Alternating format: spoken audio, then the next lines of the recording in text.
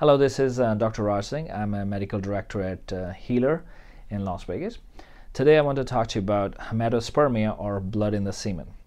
This is actually a condition that is not that uncommon and when men experience it, it can be really alarming and it's very scary and intimidating.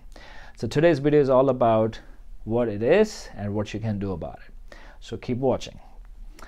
Hematospermia, we also sometimes call it hemospermia. What it means is appearance of blood in the semen. Sometimes it can be fresh blood, looks bright red, and sometimes it's uh, digested blood or a little bit old blood and may appear as you know brownish in color. Most men will notice it after masturbation, and uh, when you do notice it, it's it's very scary and it's very intimidating. So let's go into some of the causes of what causes it and when you should seek medical care.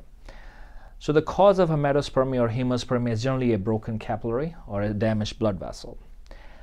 Most of the time, it's nothing to be concerned about. So if you do experience it, generally it should go away on its own without any intervention in about two to four weeks.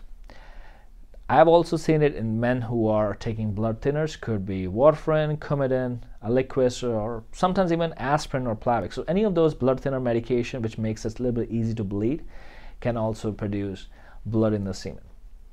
Again, nothing to be concerned about, generally goes away on its own.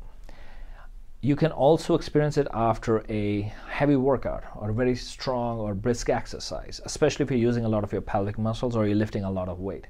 Again, that extra pressure, especially the abdominal pressure, sometimes can create uh, stress on these tiny blood vessels, sometimes within the prostate, sometimes the urethra, and can cause the bleeding. Again, two to four weeks, this should go away on its own.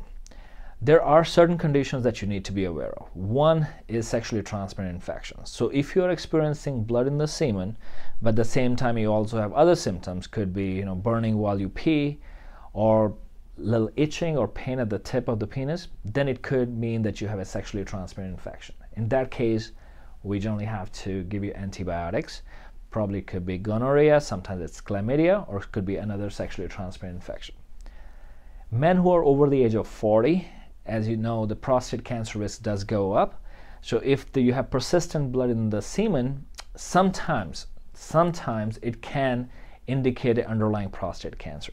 So in that case, you do need to see a doctor, get a prostate exam done, get a PSA checked, and get that taken care of. The, other than that, exercise, totally benign, being on blood thinners, totally benign. Abnormal sexually transmitted infections, prostate cancers.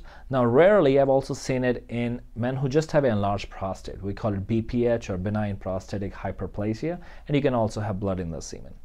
But in conclusion, blood in the semen is not pathologic in most cases. Most of the time, it is a normal occurrence that can happen from a damaged blood vessel and will generally get better on its own. So, wait two to four weeks if you don't have any other symptoms but if it is after that, then you may need to see a doctor to get it tested for urine infection or a sexually transmitted infection or prostate cancer, all of those things. So that's all the video for today. I hope you enjoyed it. If you did like the content, please do not forget to hit like and subscribe. If you have any follow-up questions in this blog, post your question in the comments below and we'll respond to it. Thank you again for watching. This is Dr. Singh. Take care. Bye-bye.